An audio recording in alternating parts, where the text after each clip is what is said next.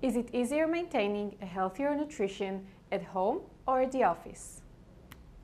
Maintaining good nutrition while working from home can be quite difficult, but it does have one great benefit. No more tempting to donuts, cookies, and chocolate bars that other employees bring to the office. Though I'm not a qualified nutritionist, I did manage to set a balanced menu for myself and even lose a few annoying pounds I had while working as a salaried employee. So I definitely think it's much easier to maintain a healthy nutrition when working at home rather than at the office.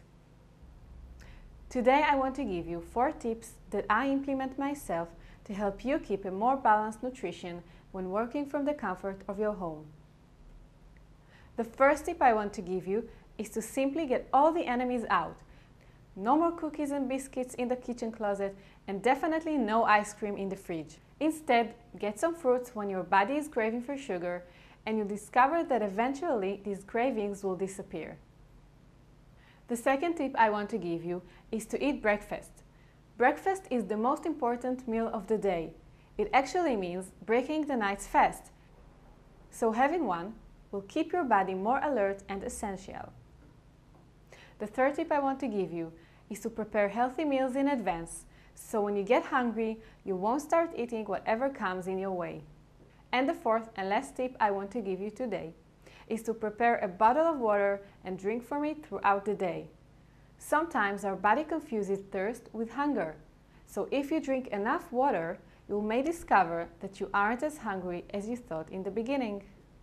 So, my four tips for you are to get all the fatty and greasy food out, to eat breakfast, to prepare healthy meals in advance, and to drink plenty of water. That's all for now. I would love to hear some more helpful tips from you guys.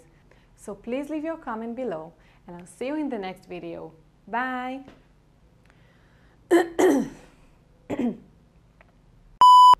no more tempting to cook. So please leave your message below. Bye!